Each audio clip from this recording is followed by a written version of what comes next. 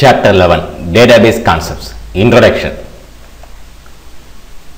இவன் டேட்டாபேஸ் டேட்டாபேஸ்னு நம்ம பார்த்தோம்னா டேட்டாபேஸ் வந்து என்னென்னா ஆர்கனைஸ்டு கலெக்ஷன் ஆஃப் டேட்டா அதாவது கலெக்ஷன் ஆஃப் டேட்டா மட்டும் கிடையாது அந்த கலெக்ஷன் ஆஃப் டேட்டா என்ன இருக்கணும்? ஒரு ஆர்கனைஸ்டு மேனரில் இருக்கணும்.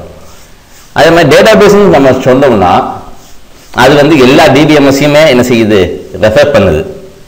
அதே மாதிரி டேட்டாபேஸோட ஒர்க் என்ன? அப்படின்னு நம்ம பார்த்தோம்னா டேட்டாவை கம்ப்யூட்டர் சிஸ்டத்தில் ஸ்டோர் பண்ணுறது கம்ப்யூட்டர் சிஸ்டத்துலேருந்து டேட்டாவை என்ன செய்யறது? அக்சஸ் பண்ணுறது இது எல்லாமே எதுக்கு எதோட ஒர்க்கு தான் டேட்டா பேஸோட ஒர்க்கு தான் தான் பார்க்கும். அதே மாதிரி இப்போ டேட்டா பேஸை வந்து நம்ம என்ன சொல்றோம்னா டிபிஎம்எஸ் எல்லா டிபிஎம்எஸையும் டேட்டாபேஸ் தான் சொல்றோம். டிபிஎம்எஸ்னா டேட்டாபேஸ் மேனேஜ்மெண்ட் சிஸ்டத்தையும் என்ன தான் சொல்றோம்? டேட்டாபேஸ் தான் சொல்கிறோம் ஏன்னா டிபிஎம்எஸ்னு நம்ம சொன்னோம்னா அதில் வந்து ஒரு டேட்டாபேஸ் சிஸ்டம் இருக்குது அதுக்கடுத்து அதில் அது போக வேற என்ன இருக்குது ஒரு அப்ளிகேஷன் அதாவது அந்த டேட்டாபேஸ் கூட சேர்ந்த அப்ளிகேஷன் அதாவது அந்த டேட்டாலேருந்து எப்படி டேட்டாபேஸ்ல இருந்து எப்படி ரெட்ரீவ் பண்ணணும்? என்ன ஏது? இதை மாதிரி ரெட்ரீவ் பண்ணுறது எப்படி? எப்படி ஸ்டோர் பண்ணணும்? எல்லாமே உள்ளதுதான் என்னது? டிபிஎம்எஸ் இதுவும் சேர்ந்ததுக்கு தான் நம்ம என்ன சொல்றோம்? டேட்டாபேஸ்னு பொதுவாக நம்ம சொல்லுவோம் இப்போ நம்ம ரியல் லைஃப்பில் ஒரு சின்ன எக்ஸாம்பிள் பார்த்தோம்னா ஸ்கூல் கிளாஸ் ரெஜிஸ்டர் கிளாஸ் ரிஜிஸ்டரில் வந்து நேம்ஸை வந்து என்ன செஞ்சுப்போம்? அல்பபெட்டிக் அதெல்லாம் கொடுத்துப்போம். அது ஒரு டேட்டாபேஸுக்கு ஒரு எக்ஸாம்பிள் இப்போ பொதுவாக டேட்டா அப்படின்னு பார்த்தோம்னா ரா ஃபேக்ட் ரா ஃபேக்ட் எதில் ஸ்டோர் பண்ணி வச்சுப்போம்? சிஸ்டத்தில் ஸ்டோர் பண்ணிப்போம். இப்போ டேட்டான்னு எடுத்துக்கிட்டோம்னா டேட்டாவில் என்னென்ன இருக்கலாம்? கேரக்டர் இருக்கலாம் டெக்ஸ்ட் இருக்கலாம் வேர்ட்ஸ் வரலாம் நம்பர்ஸ் வரலாம். இது எல்லாமே கலந்து வரும்.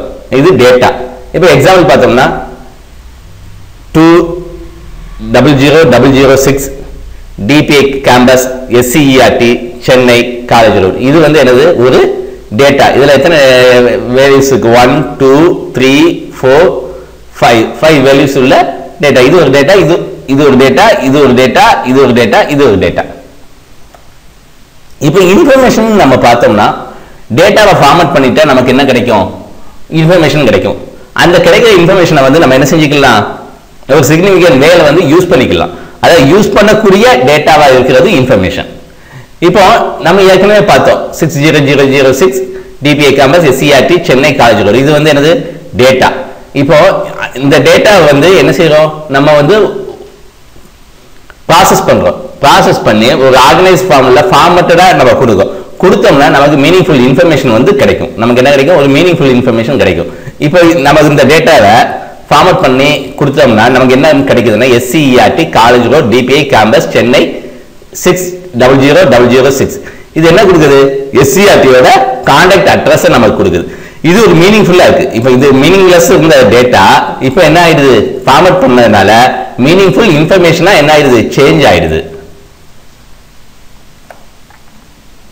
இப்போ டேட்டா பேஸ்னு பார்த்தோம்னா டேட்டா பேஸ் என்னது representative collection of related data அதாவது ரிலேட்டட் டேட்டா எல்லாத்தையும் ஸ்டோர் பண்ணி பத்திரமா ஸ்டோர் பண்ணி வச்சுக்கிற இடம் தான் என்னது? டேட்டாபேஸ் இந்த டேட்டாபேஸ் வந்து எப்படி ஆர்கனைஸ் பண்ணிப்போம்னா டேட்டாவை ஈஸியாக அக்சஸ் பண்ணுற மாதிரி டேட்டாவை ஈஸியாக மேனேஜ் பண்ணுற மாதிரி டேட்டாவை ஈஸியாக அப்டேட் பண்ணுற மாதிரி பண்ணி வச்சுருப்போம்.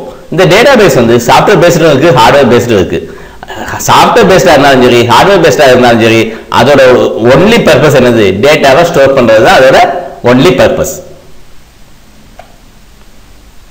இப்போ டிபிஎம்எஸ் பார்த்தோம்னா டிபிஎம்எஸ்னா டேட்டாபேஸ் மேனேஜ்மெண்ட் சிஸ்டம் டிபிஎம்எஸ்னு பார்த்தோம்னா அது வந்து ஒரு சாஃப்ட்வேர் அது வந்து ஒரு சாஃப்ட்வேர் அதோட பர்பஸ் வந்து என்ன செய்யும்? கிரியேட் பண்ணும் டிஃபைன் பண்ணும் மேனிப்புலேட் பண்ணும். எதை? டேட்டா பேஸை டேட்டா பேஸை கிரியேட் டிஃபைன் மேனிப்புலேட் பண்ணுறது தான் டிபிஎம்எஸ் இந்த டிபிஎம்எஸ் வந்து டேட்டாவை ஸ்டோர் பண்ணுறதும் சரி ப்ராசஸ் பண்ணுறதும் சரி அனலைஸ் பண்ணுறதும் சரி இந்த டேட்டாவை என்ன செய்யும்? ஈஸியாக ஸ்டோர் ப்ராசஸ் அண்ட் அனலைஸ் பண்ணும். இப்போ டிபிஎம்எஸ் வந்து ஒரு இன்டர்ஃபேஸ் அல்லது ஒரு டூல்னு சொல்லலாம். என்ன இதுக்காக உள்ள இன்டர்ஃபேஸ் அல்லது டூல்னு சொன்னோம்னா என்னென்ன வேரியஸ் ஆப்ரேஷன்ஸ் பெர்ஃபார்ம் பண்ணுவோம். டேட்டாபேஸை கிரியேட் பண்ணுவோம். டேட்டாவை ஸ்டோர் பண்ணுவோம். டேட்டாவை அப்டேட் பண்ணுவோம். இதை மாதிரியான ஒர்க்குக்கெல்லாம் ஒரு இன்டர்ஃபேஸாகவும் ஒரு டூலாகவும் ஆக்ட் பண்ணும். அது போக நம்மளுடைய டேட்டாபேஸுக்கு ப்ரொடக்ஷனையும் செக்யூரிட்டியும் என்னது செய்யுது அது வந்து கொடுக்குது. அது போல டேட்டா டிபிஎம்எஸ் வந்து வேற என்ன செய்யணும்னா டேட்டா கன்சிஸ்டன்சி அது மல்டிபிள் யூசர் நிறைய யூசர் ஒரே சமயத்தில் யூஸ் பண்ணும்போது டேட்டாவை வந்து ஒன்னோட இருக்கிறதுக்கு வைக்கிறதுக்குள்ள இதை மெயின்டைன் பண்ண வேண்டியது டிபிஎம்எஸோட ஒர்க்கு இப்போ டிபிஎம்எஸ் சாஃப்ட்வேருக்கு எக்ஸாம்பிள் பார்த்தோம்னா ஃபாக்ஸ்போ டிபிஎஸ் இதெல்லாம் என்னது?